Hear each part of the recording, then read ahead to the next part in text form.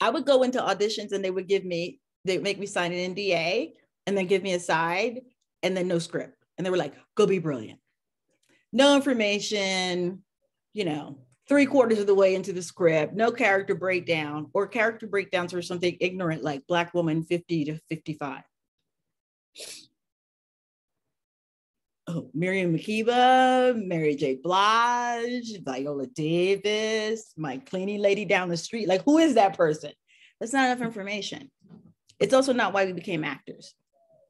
We became actors to become acrobats of the human condition, right? Not just play ourselves or play cardboard cutouts. And the person that often books is the person that goes in to the audition instead of trying to please people and give them what they think they need or they want. That person shows up with a fully realized human being and they offer up their interpretation in a complex, intuitive, organic way that makes them feel like an artist for the day. And you're offering a piece of your craft instead of a mechanical, let me, let me give you what you want because they don't know what they want. Because as Medina mentioned in previous classes, by the time we get a breakdown in the script, the writer wrote one thing, the director wrote another thing, the producer wrote another thing, and then the casting director gets it and throws it all on the page. They have no idea what the whole thing is. They've skimmed the script. Like, right? So the art artistry has been taken out of the process. The emotional chords is about how to bring it back into the, the process of auditioning. And what I learned very critically in doing theater is that actors, unless you went to Yale in the 90s, are really not trained to look at the arc of a character. You're really not. The training, I will say, under Brewster at Yale was very much actors were trained very much like directors. They're thinking about the larger arc of the play. They're thinking about the journey the character is taken. That's part of their training. Most actors, that's not part of their training. And after you've been in the business for a while, you shouldn't be figuring out the arc of your character in tech. You should know that. You're not just rehearsing scenes, you're putting together a human being that's learning a complex lesson. Okay. So, and then when I started producing film and then being in TV shows and films, I learned, whoa, this is a whole nother. I learned what, for one, that this is all about money and I need somebody who can deliver a deep, complex character with very little instruction on my end because as a director on the set, I'm not there to help you learn how to be an actor. That's your job to create the complex behavior, even if it's not in the rating, right? As a money person and as a person with my career on the line, I'm looking for somebody who can create the behavior on cue. It's rehearsed, it's complex, because there ain't no rehearsing on TV. You've done all that internal work. How do you do that? Especially if the lines are going to change, the emotional chords. It's what you bring to the process. It's also how you stop going into auditions begging, please pick me, pick me, pick me, pick me, pick me, pick me, pick me, pick me. You're going to an audition. I am a worthy craftsman, and this is what I have to offer. If you can use it, I'd be happy to help you with this project. If you can't, that's fine too, but I'm not going to do shallow work. That's how you stay in the business for decades without getting burned out because you put your creative integrity first. You are an artist. You are shaping and molding the human condition and sharing that skill of creating truthful behavior under imaginary circumstances. Okay. The Dreaming Out Loud Emotional Type class came out of my clients asking me stuff when they had gotten to fuck it. Right? So I want you to take a look at the first video on the class page. Uh, Hillary. Are you a working actor? Are you a working TV actor? No, on the the the class page that I sent to you in chat, thedreamunlocked.com. Oh. Shop dash. Everybody on that page? Yes. Great. I can't get it. Uh, I, I have it in my, On your phone? yeah, I have it on my phone, but I can't. Okay, I'm gonna share my screen with you and that'll make it simpler, right? Okay.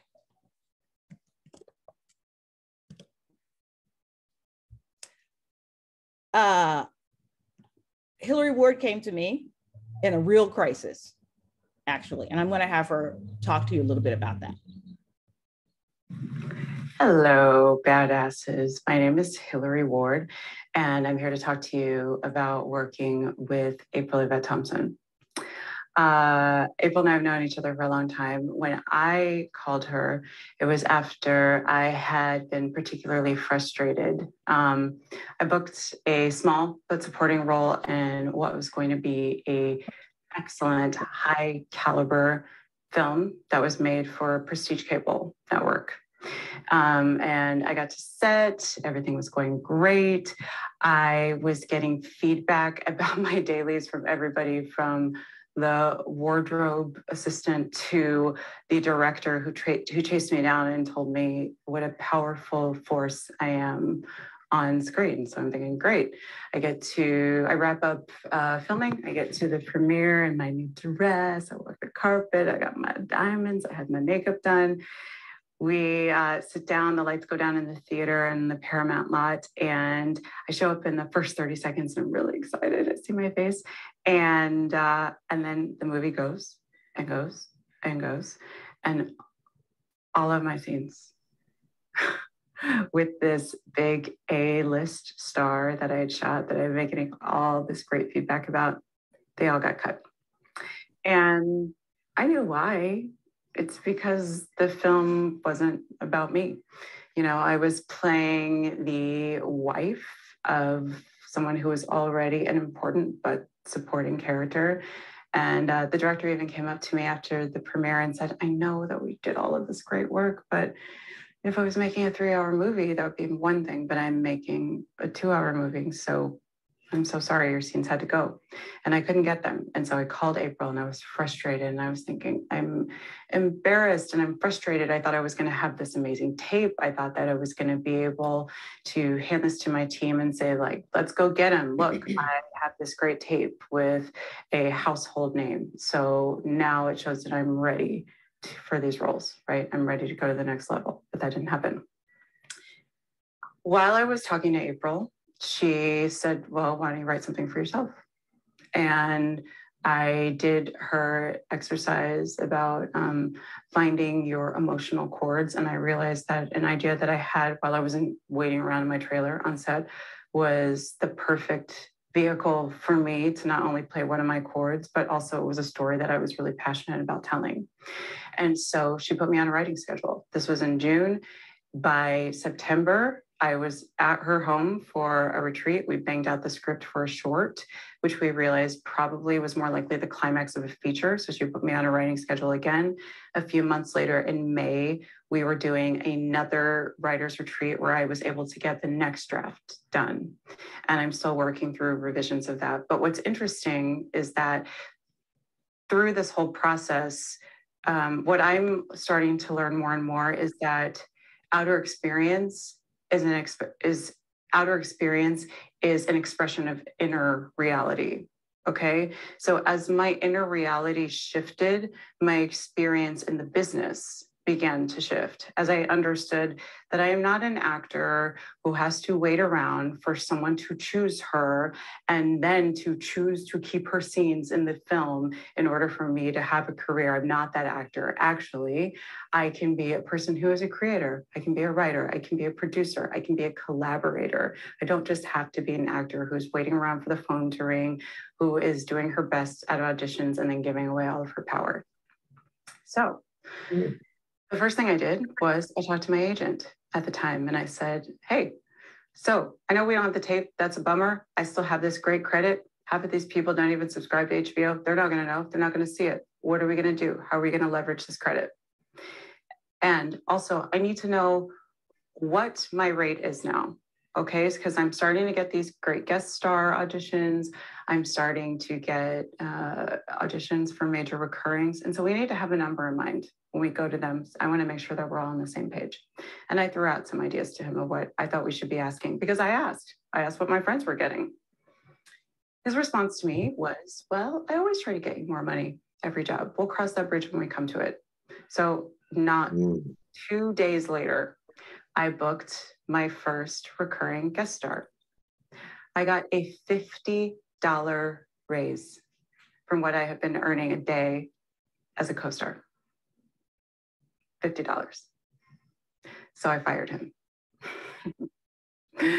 now, a lot of people would think that was crazy. I did not have another agent lined up, hadn't even taken meetings. I didn't know what I was going to do, but I knew if the next job did come in and I had to give him a commission on it, I wasn't, I was going to resent it. I wasn't going to be happy about it. And I felt like I was selling myself short by sticking in a relationship that this person doesn't value me. He doesn't see my career going the same place that I see my career going. And that means that we can't collaborate anymore. So I fired him. And I took a bunch of meetings. I called all my friends. I said, Who are you going to refer me to? All my friends who had careers that I admired, the careers that I was aspiring to. I said, Okay, I need help getting into the door. And so they helped me set up meetings. And I took a bunch of meetings. And in the first six months, I got no agent. but I stuck with it. I stuck with it. And in January of the next year, I got an agent. Now, I got an agent in January, the time that everybody says it's crazy. You can't even get a meeting with an agent. It's silly to try. That's when I got my meeting with my agent, and then I signed with them a week later. Okay. So, first of all, there are no impossibles. There, it, it's just because it happened to somebody else doesn't mean it's going to happen to you. Okay. You can make your own way. So, I signed with this agency, and not a month later, I booked a recurring, a major recurring on a limited series. That's coming up. It's going to be, we, we filmed all year, but it's coming up next year. And I thought, great, here we go. Here we go. What's next? And since then, since booking this major recurring, I've booked a top, great, juicy of show guest on a network show that will also be recurring. Um, again, not buzzy, but it's great money. It's longevity. It means that I don't have to do a day job in between. And I've also been able to work on some really high quality new media projects. Now, what's exciting to me about the new media stuff is that I'm working with people who have produced the highest echelon. So we're talking the producers of Black Swan. Okay. And no one under 14 watches TV on TV. They're all watching it on YouTube. And for me to be able to collaborate with these people who are working at that level on where very much the future of our industry is, in my opinion, going to be is, is very exciting to me. And I feel like I'm getting in on the ground floor. Now, through all of this, I've continued to write, I've continued to create. And again, it's that idea that that outer experience is reflected by inner reality. So now when my team gets on the phone and they're talking about, oh, well, uh, this is the way we need to position Hillary for these projects. And we need to let this person know that she's in first position for this. I mean, they're talking like I'm already this heavy movie and shake, mover and shaker because they understand that's where it's going. It's inevitable because we've all stepped it up. We've all stepped it up. And, and if that doesn't come from you, then your team doesn't know where to follow, right? Or the, the team is not going to reflect that because that has to come from you. And when I'm not shooting, when I'm in between acting jobs, I'm not sitting around waiting for the phone to ring. I'm continuing to work on generating my own work. And so, in that spirit, I, April and I were having a conversation about okay, you've got the script. Now you need to figure out what you're going to do to develop it. How are you going to raise money? Well, I've never done that. I, I was like, I don't know how to go to a TV executive and pitch a script that I've written and sell it to them with me attached as the lead. I've never done that before. So what did I do? I reached out to my friends who are executive producers, who are showrunners, who are co-producers, and I said, "Hey, how, how do I do this? I've got 30 minutes. I'll take 30 minutes of your time. I'll buy you lunch. I'll buy you coffee. Can you sit down and talk to me about what you think I need to do or the people that you think I need to know? Or can I talk through my pitch with you? Can you give me feedback on that? I was able to talk to the showrunner on Stranger Things. I was able to talk to a co executive producer on Arrow. I was able to talk to a multi Emmy Award winning writer on Veep. I was able to talk to an Emmy Award writer on The Handmaid's Tale. I was able to talk to the showrunner and creator of the web series Guidance. And that was all because the people that I'm reaching out to they understand that A, I'm not wasting their time, and B, that if I'm asking these questions, I'm not asking them to give me a job. I'm asking them how I become a better collaborator, and they're willing to take that meeting because they know that even though I'm sitting in their office today, they could just as easily be sitting in my office five years from now and that it's about building those long-term relationships and working finding the people that are on the same page finding the people that are serious. And april is the person who was able to make me realize what i have to bring to the table and to put that forward. So i am driving the direction of my career and i'm not getting buffeted about by whatever trend comes up or whatever job happens to be available or whatever scandal or whatever people think that black girls are in right now because that's not the point. I'm not here for a trend. I'm here for the long haul. So, badasses, this is your leader. Go find her, be brave, be bold, and stand up for yourself and stand up for your dreams. She's a fierce bitch. what caused that She's to a happen? Fierce bitch. What's the what's the trajectory of her learning curve? What were the steps? She had to get to fuck it. The rug had to be snatched out from underneath her. Mm-hmm. All that work, a very high profile film that was also a Broadway show. Mm. Like with stars, like mega stars like from the Marvel Universe, Tony Award winners, an Oscar nominee. Like it was big. The rug had to be pulled out.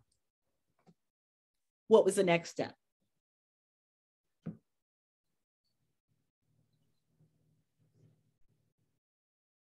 What do people usually do when the rug gets pulled out from underneath their feet? They fall apart. Uh huh. And then what did they do? Try to look for some answers blame themselves, or look for some answers. And the answers have to do what? Mobilize them? Yes. And how do you get mobilized? You start to believe that um, somebody understands what you're going through and legitimizes you and um, validates you and then and believes in you. And the emotional cords exercise is an exercise in which we do really detailed work in which we source out what you're good at emotionally, which is what acting, right? And the way we figure that out is we look at films and we look for recurring emotional lessons in the films that you are drawn to. And in those recurring emotional lessons are the four major life lessons you were put here to get right in this lifetime you understand characters who are struggling with those same lessons. You can walk into an audition, do a cold read blind, crippled, broke, or crazy, and book it because you're bringing your particular expertise, which is your understanding of that emotional cord and that particular emotional struggle. It's specific. It's not, oh, the woman who learned to find her voice. No. And we're going to talk about this in a minute about what example emotional cord looks like.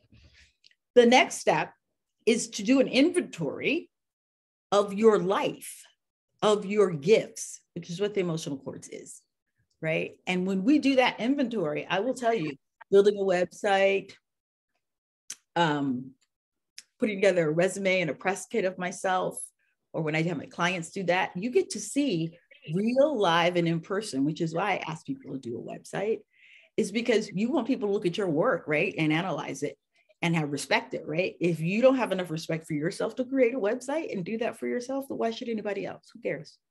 You don't care. You're asking, when you go into an audition, you're asking for somebody to give you $50,000 after two minutes of work in an audition. That's basically what we're, even a co star looks like, right? A guest star. You're going to get paid and then you're going to get residuals. You want me to give you $50,000 and you can't bother to get a website and tell me who you are? I'm telling you as a producer that when I was on the producer team for Blue Capris, Porgy and Bess on Broadway, I was like, no, no website. I don't know anything about you. You can't bother to have a website. I'm not going to invest my career in you because I'm going to Sundance. and I need dogs who have websites, who have PR people, who can represent my project, who can get on the red carpet and advocate for my project so all of our careers move forward. People who don't have good self esteem don't have packages, don't have press kits, don't have none of that. They don't have a team that they're running. Right? They've not done that personal inventory of what they bring to the business. What they're doing is begging for work and hoping somebody likes them. That's not what a collaborator is. And after we did that personal inventory, and Hillary learned, whoa, this is what I've done because I've known Hillary for and worked with her on different shows. Once you do that and you get clear about what you have to offer, the whole paradigm changes. You don't work for your agent, you don't work for the casting director. Those people work for you, right? You give them a clear template in your press materials, in your presentation that you do to your team about who you are as an artist and articulate for them in language that they can understand so they can advocate and fight for you right? That's what casting directors do. They get in there, they get your best performance, they give it to the director. If the director likes you, the director then fights the producers for you, right? Instead of, oh, let's not get a name, let's go with this person. This is what I have, right? Every director that's ever hired me, especially on camera, have been to my website they Googled, they're like, wow, it was so easy to find your material. I was like, oh, yeah, I have material, right? So you do this inventory, which is a dreaming out loud emotional chords technique. Find out what you're good at, give it a language. And then you enter the business like Hillary did as a collaborator instead of somebody begging for work. What was your biggest takeaway from her process?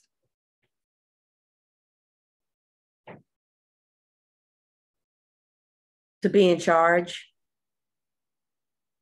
to have not only the talent, but the business savvy of it all, to speak like you're in charge, to, to, to, when she was meeting with the people, she wasn't meeting with them like, oh, well, maybe they'll like me and they'll put me in their show.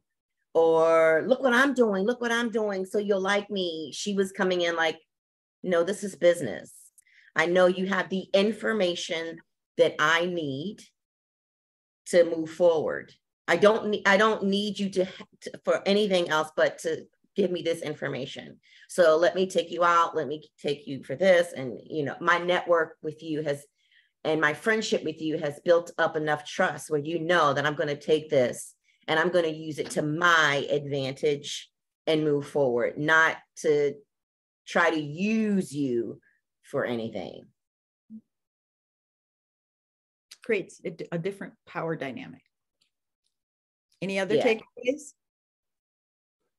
I love that she said to be able to say as a collaborator, I'm in your office today, but you might be in my office in five years. That was so strong to me. So let's talk about how we do the emotional chords, how we find them. I'm gonna give you an overview because it's a long process. Uh, Tony, Kim, Justine, and Medina have all done the emotional chords technique class. Um, and they've gone through this 12 week process. Um, so I'm going to talk a little bit about what that 12 week process looks like. So In the next video, which Medina so graciously allowed me to share, I love you, Medina. Um, she's going to talk through one of her chords. Now, Medina, before I share this, can you tell me the Bulletproof Diva chord? What were the films that got you there? Can you hear me? Yeah. Um.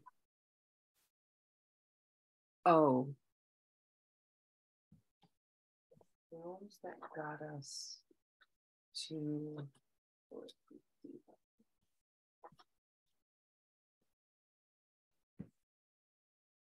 There was a bit of Blue Jasmine in there, a, a bit. The, Mhm. um, actually, we came up with that one in conversation. It wasn't from like my homework films. But they're all in your films. Yeah. Right. That was the process. We go through these films and we talk about scenes and which characters we identify with and how they're changed by the end of the scene. And then we begin to see recurring psychological profiles. Right? Mhm. You've done that work. But this conversation can't happen until that work's been done. Oh yeah, yeah. Because we were we were talking about the the actor in her own life, um, Mhm. which came from Persuasion, the woman who needs to wear a mask to live out her true desires, which came from Amelie. Um, and then, yeah, talking about those. The, yeah, we had like the surface of those, and then talking through them, we uh, we came up with the bulletproof diva. Yeah. So let's take a look at the Bulletproof Diva chord. After all that work was done, then I interview Medina and have her flesh out what this chord means. Okay.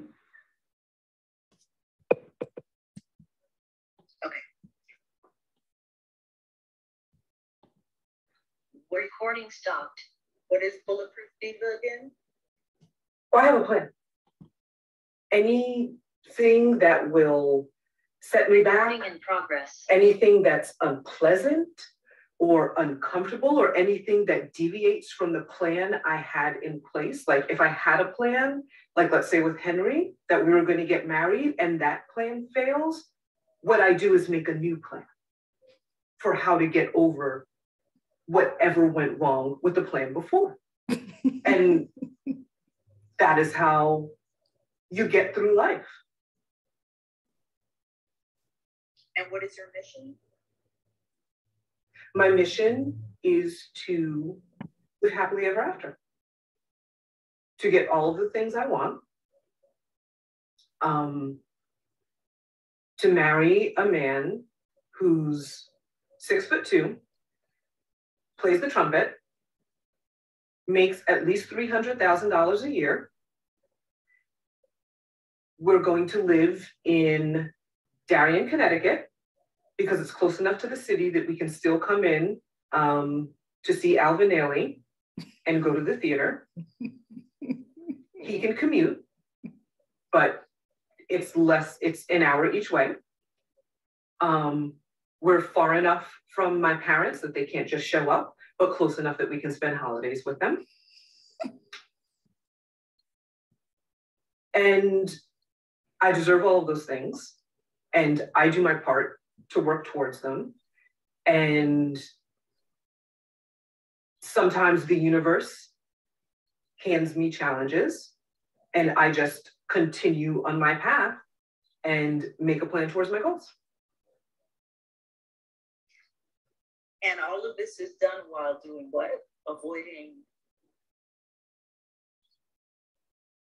I'm kind of impenetrable to like emotions and like heartbreak and things like that. Like I have a lot of friends who just like meet a guy and date him for two months and fall apart. And I don't really understand that. That's not how I function.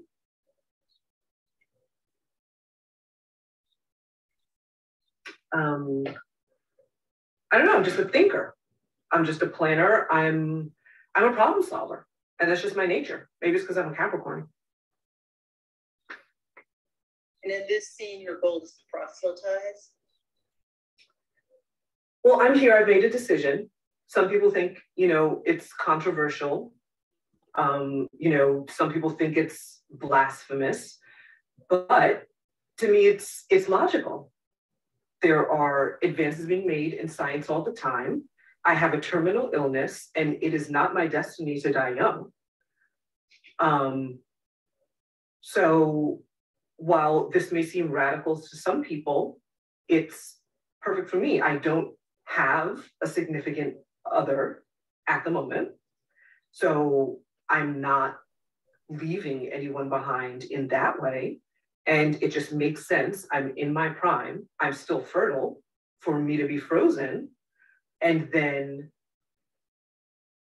once I wake up and there's a cure for my disease, I can get back on the plan that my life was supposed to look like. Right now, I've been handed um, an obstacle, but I've also been handed a solution.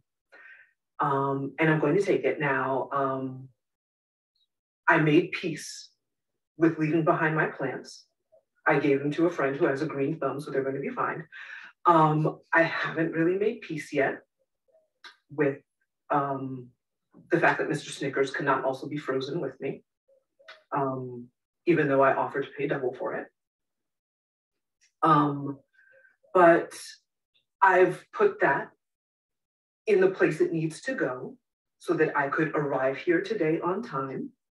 Um, and now I'm in the waiting room waiting for the next step in the process. Great, let's start the scene.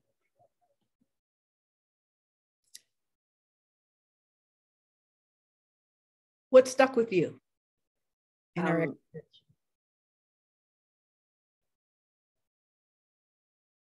She's batshit. Sorry. Do not judge her, please. Thank you. What else? Are you asking me or everybody? Everybody. The resilience of the character.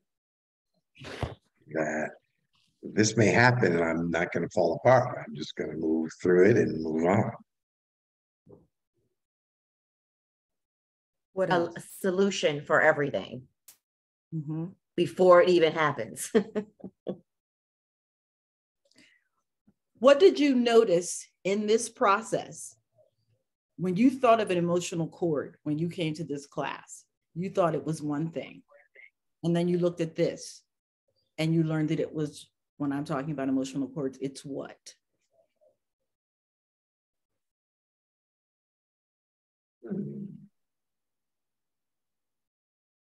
Well, like, if I could use the word constellation of emotions to me, Mhm.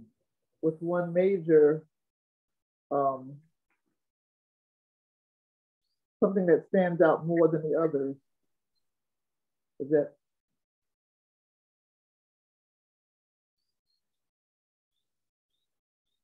Does this sound like any breakdown you've read in the last couple of years? No, breakdowns don't give you specifics, a life that has been lived, details. Where's she gonna live? How tall? I mean, she said six foot two, a trumpet player, and makes at least three hundred thousand dollars a year in Darien, Connecticut. I was like, she knows who the fuck she is, right? Mm-hmm. It fuels the audition because you have created a very complex character who's clearly gone to a Seven Sisters Ivy League school. She has her MRS degree. She did corporate America. She's choosing not to. And her, her needs will be met by her investments. And she's going to get, without fail, what she wants. And she goes into this scene proselytizing that sort of lifestyle. It's a very specific. That's why when people tell me, oh, I'm just the black girl who's never had a home. I was like, that what is that? That's not a chord. It's not a chord. This is a chord. And this is how it impacts the scene.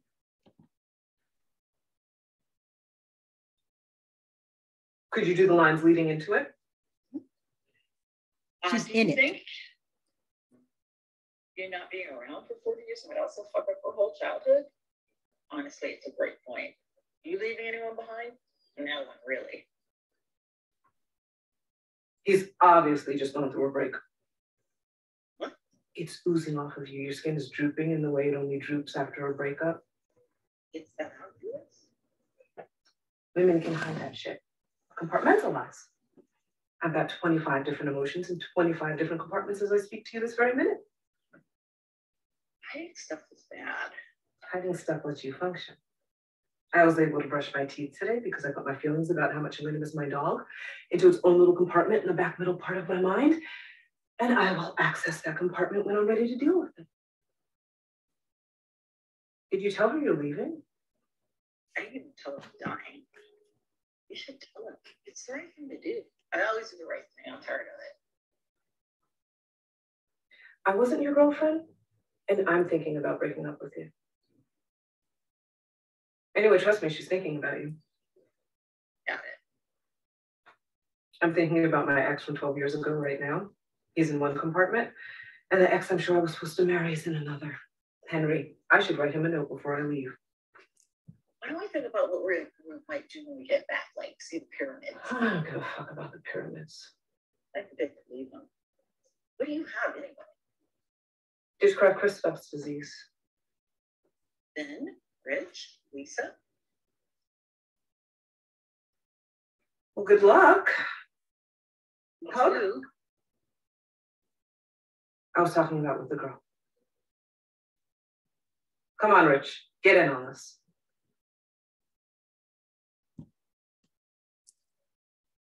How did playing that chord impact the scene?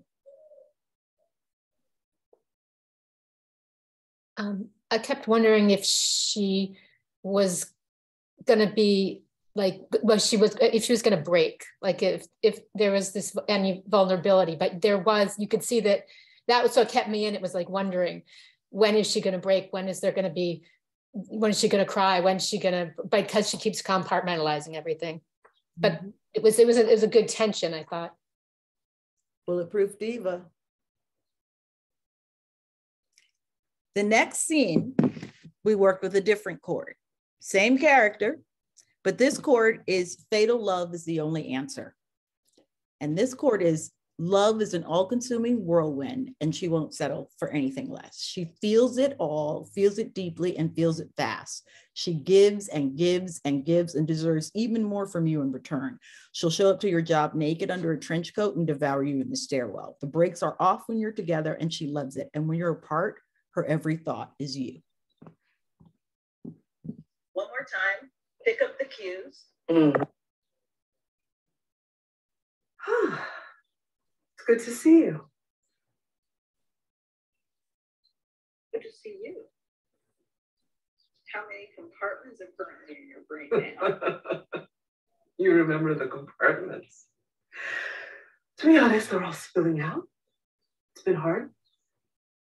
Fucking brutal. And your word from the girl? You remember the girl? It's what I associate your droopy face with. Can I get your number? Yeah, sure.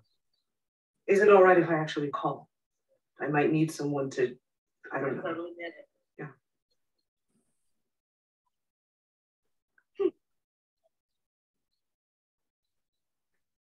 Hey, What'd you notice? Hmm. I noticed the even the physical um, attributes of the of, of her scene was much more. Uh, the first one was much more. She was more up straight, like talking, like waiting to go at this person with a solution or an answer, and this one was much more relaxed, much more um, paying attention, even more listening to the other person, not listening as far as listening to what he was actually saying. The first character was listening to answer. Mm-hmm. This person was actually listening to like respond in a way that she was telling them, I'm listening. Hmm.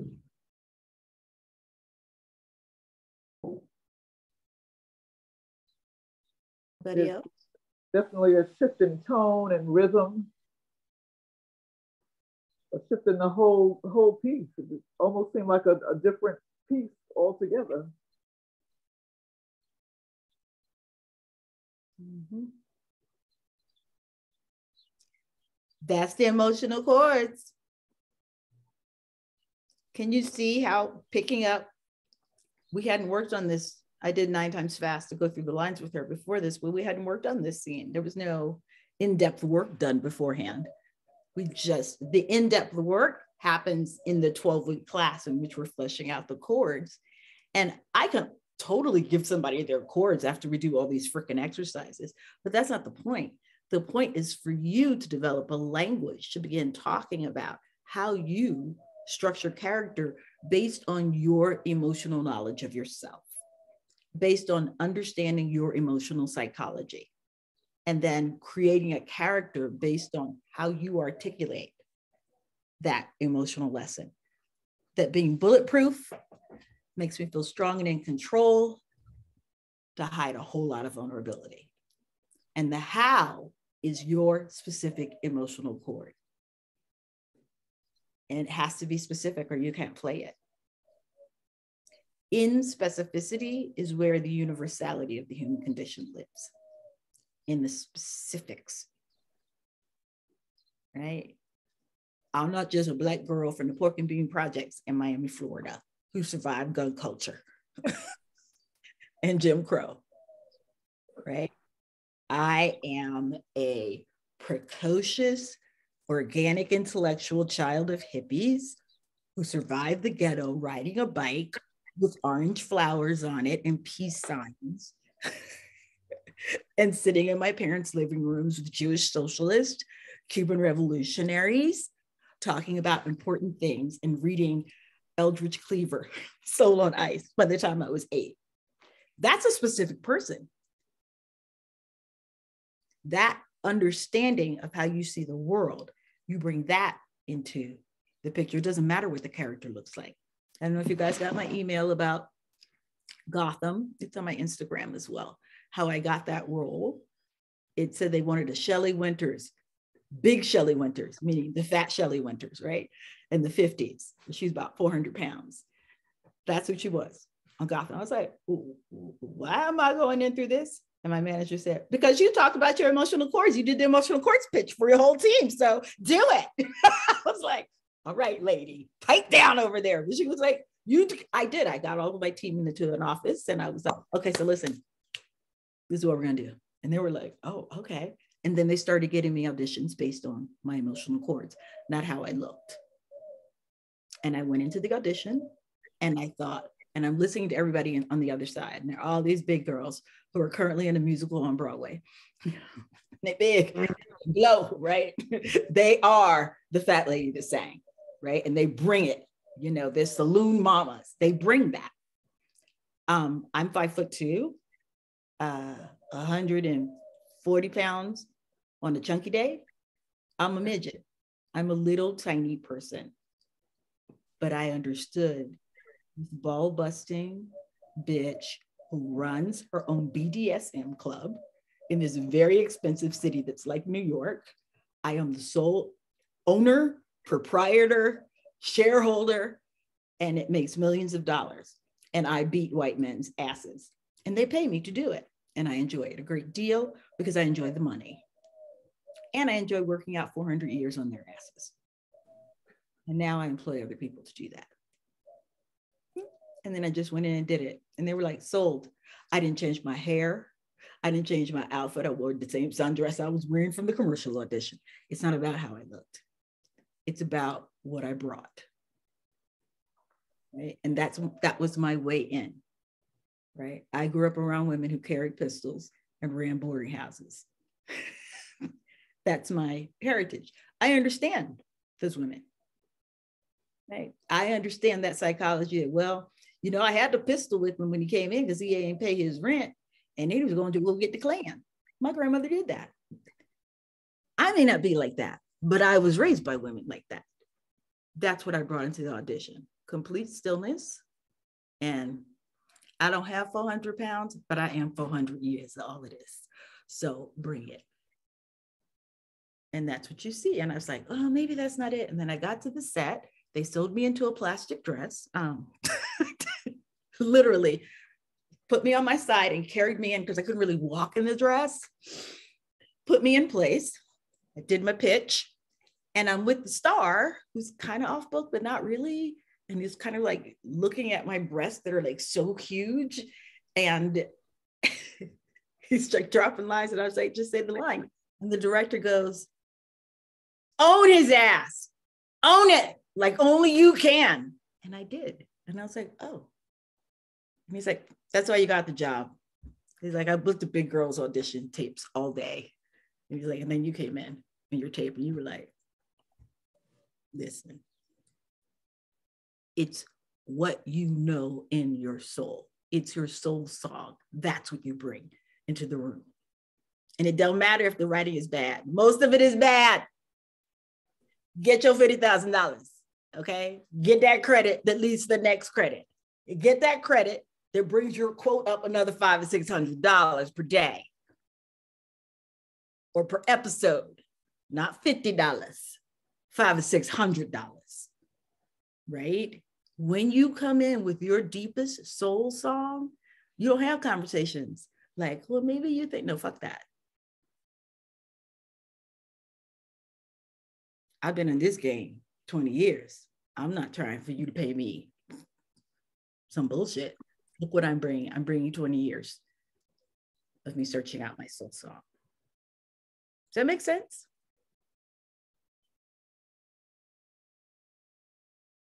Anybody got any questions? I had just put in the chat, excuse me, the chat of which is why emotional chords works for writing also. Mm-hmm. And that's where I learned it the most. Creating character. Creating characters. Yeah.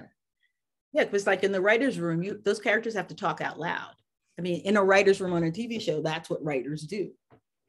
They talk out loud. She's going through this and she's thinking that, but what if she did this? You know, they talk through the character's journey and their emotional journey, their psychological journey, the world in which they live and the realities of it and how they respond to it.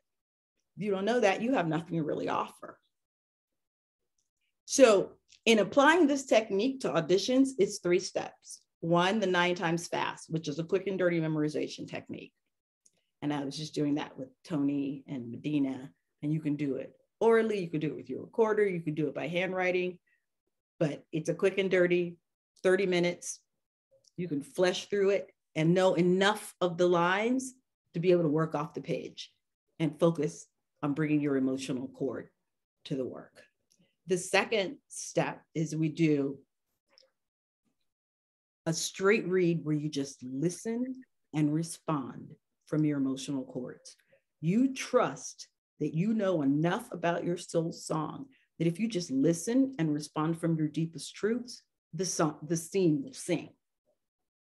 If we need to do script analysis, we do. Quite frankly, the bullshit that is getting written right now, there ain't enough there to do script analysis. The script analysis is your emotional chord. We only need to know the given circumstances, which we establish. But when we're working on this in class, the first thing we do is memorize the lines by rote with the nine times fast. And then we just do a cold read, listening and responding. The scene will make its own sense. If you're really listening and responding and speaking from your deepest truthful chords. Right? Um,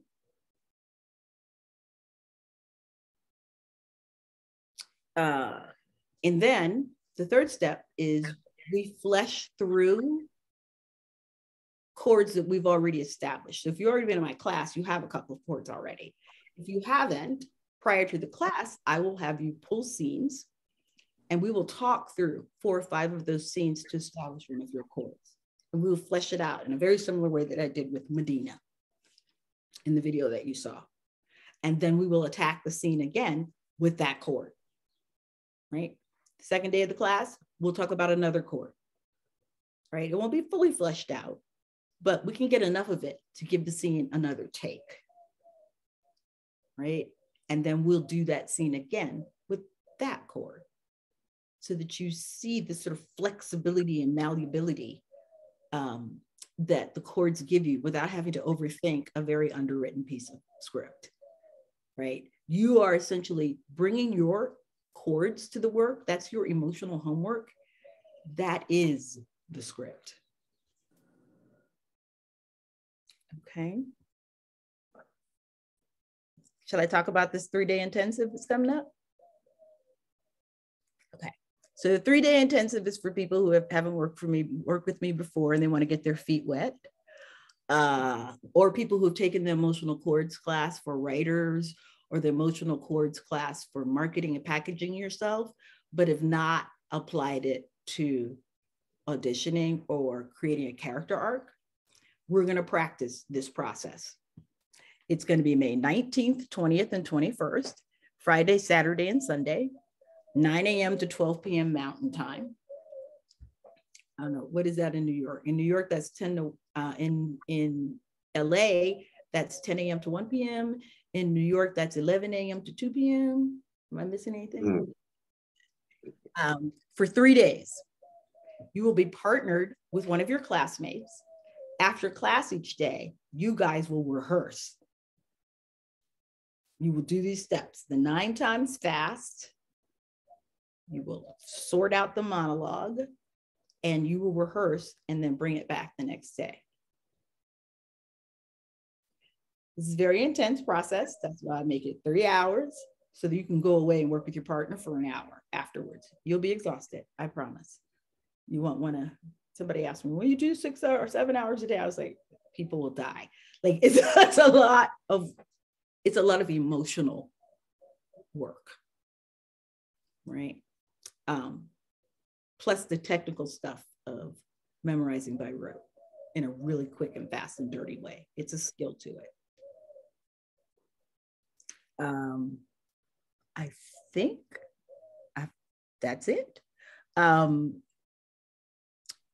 if you pay full, fri- full, full price up front, it's 870. Uh, if you pay in two installments, it's 455 per month, two payments of 455 each. You'll check your inbox. You should have an email with these details on it. Um, I have three spaces to fill because my focus in my coaching is small group coaching. So once I get the three people, I'm gonna close registration unless I get enough, you know, interest to open a second section. Sound good? Any questions, thoughts, comments?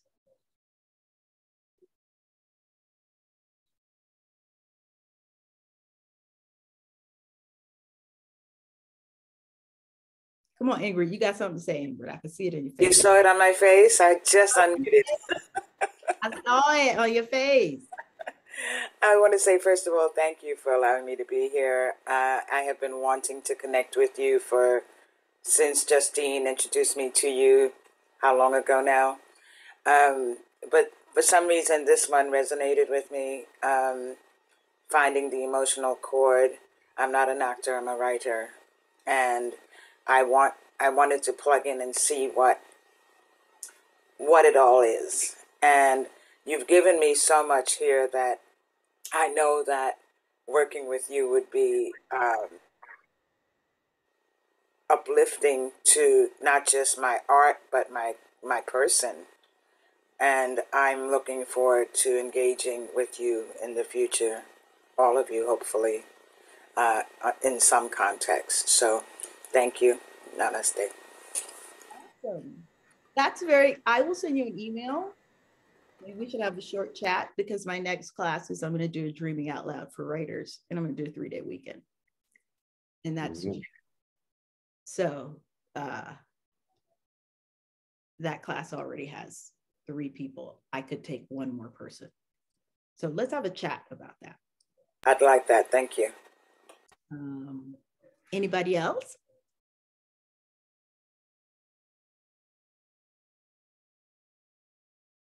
What's your biggest takeaway for today?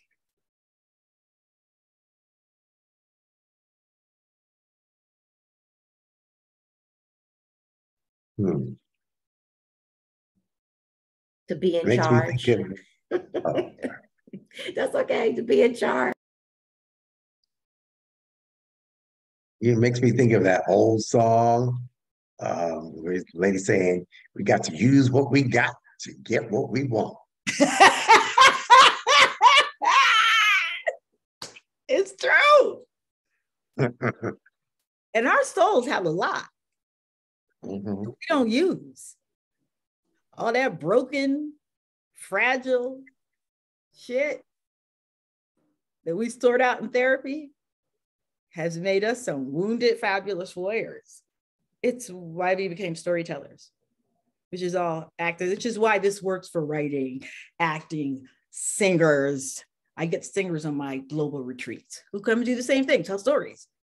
It's all the same. It's singing your soul song and letting the world know, bitch, I've been through it, bitch.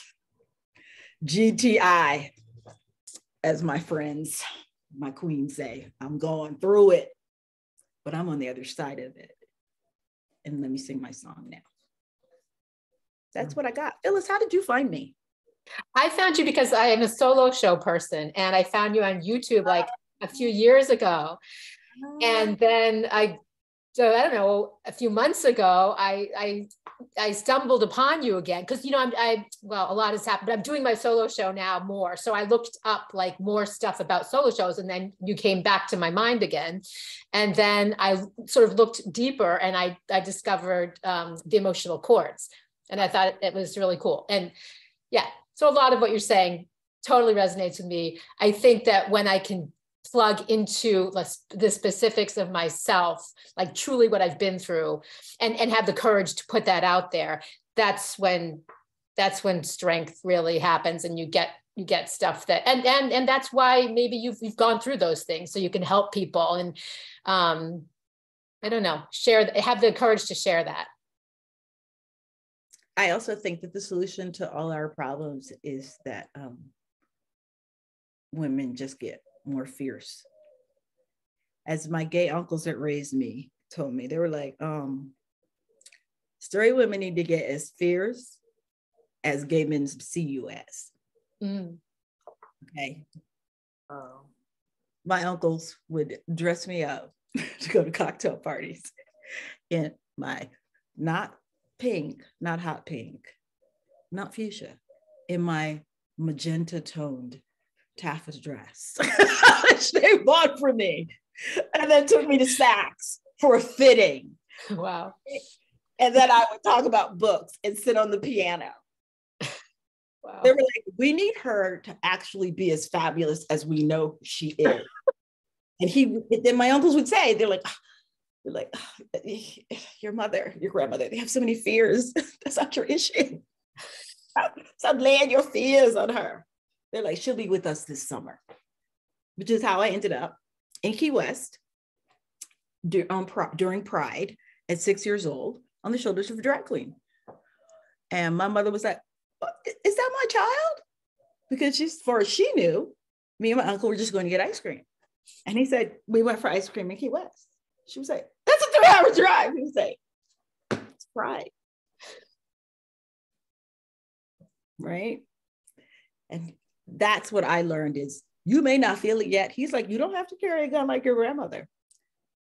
But you, you've been through the waters. I was six. What waters have I been through? it was like, you're gonna go through some waters because we black. We're gonna go to private school in this town. All right. So you're gonna go through some waters and we're gonna make you fearless and fabulous now. And I understood that. There's nothing like a gay, a fabulous gay man from the 70s raising a child. Good God, a daughter. Wow. There's a couple of queer couples that live in um, Manhattan Plaza. There's a couple of them. It's like I went to a, a party. My girlfriend lives there. I went to a birthday party. This little black girl came in in a coordinated, hand painted denim outfit denim jacket, denim pants, denim backpack. They'd had an artist hand paint a design of her favorite flowers on it. It was um, non-realist, it was cubist. Because she saw something in the MoMA and she wanted this. Her hair was double strand twisted and twist had been pulled out. And she talked to me about how she went got her whole, her whole natural products made at Comet Kings because her white daddies took her to Comet Kings. I was like, Comet Kings at that time was in Soho, which is like $500 setting. I was like, you took a chill, 16 year old child to Comet Kings. They were like, she has to know of what she's made. And I was like, thank you. They were like, because she will choose men based on how her fathers treated her. I was like, yeah, right there. He was like, look at you. I was like, I am a gaby. It makes you unfit for most environments because you were raised by gay black men. When I got to college, people were like, why do you talk like an old gay black man? I was like, because I was raised by them. And nobody believed that. And then they came to see my show at New York Theater Workshop opening night. My family was there, and there was a second row full of these middle-aged gay black men. Came in from Detroit and Chicago. People were like, who are these people? I was like, these are my uncle's friends, and they raised me. okay. And they were like, that's true. Don't back away from that. They taught me a lot about your soul. And they're like, don't you don't don't forget where you came from. Hmm. These women carry. What's interesting about that is that my hairdresser that April introduced me to, Marvin, he's not gay, but he's around women because he does women's hair. And so I go in and I never have an idea of what to do. I just go, okay, whatever. And he'll just watch me for a bit and talk to me. Then he'll like, okay, that's what we're gonna do. And every time it's something different and it's a different character for me. It's just another side of Justine. Like when my hair is red, I'm totally different. Or I walk, I feel like I walk down the street different. Or I feel like when I get dressed up, I'm different. When it's blonde, I feel different. I just feel like he looks at me and how my character is with him, how I am with him, and he'll just go, hmm, "Here we go," and I'm like, I, I, I guess it's kind of in the same because he's always around women 24 7. But also, is he sage? He knows his emotional chords, right? He's been through the cooker and is drawn to that, which is how I ended up. See, my friends were like, you need to go to this guy. I said, I don't do perms and all that bullshit. I put on a wig, I'll shave my head. I don't like, no, no. You Marvin, you need to go see him. And I was like, what's a straight black man who's hyper alpha? How he gonna do that? Ain't gay. What? And then I got there and I understood. His wife is shaved bald. Okay. and he was like, and it's perfect. A hairdresser is married to a bald, fierce black woman. And his wife before that, which is how he styled my hair the last time, he showed me, he's I'm gonna style you just like the like her. Y'all have the same type hair. And he showed me, I was like, Same thing. Mhm. And the he one, is, the one before that too. I mean, drop dead freaking gorgeous. I was like, yeah, he, he, has he likes fierce in your face. He has a sensibility about himself. Hmm. And he doesn't share a lot, but if you spend a couple of minutes with him, you do realize